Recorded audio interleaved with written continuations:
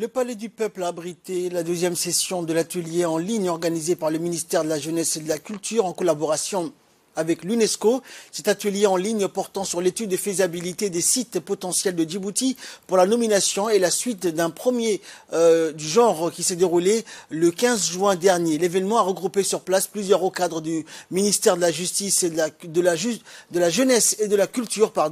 l'expert polyvalent Dr Gaïda, des représentants des ministères de l'enseignement supérieur et de la recherche, de l'environnement et de la décentralisation, des responsables du tourisme,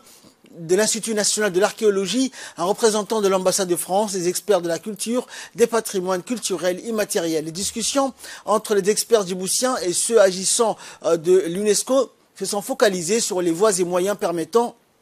de promouvoir une dynamique d'arsenal juridique et socioculturel en vue de la protection des patrimoines naturels et culturels de Djibouti. Dans un long exposé, le Conseil technique de la culture a indiqué que les démarches entreprises par la République de Djibouti en guise de préservation et de sauvegarde des sites potentiellement classés comme euh, patrimoine naturel, culturel et archéologique.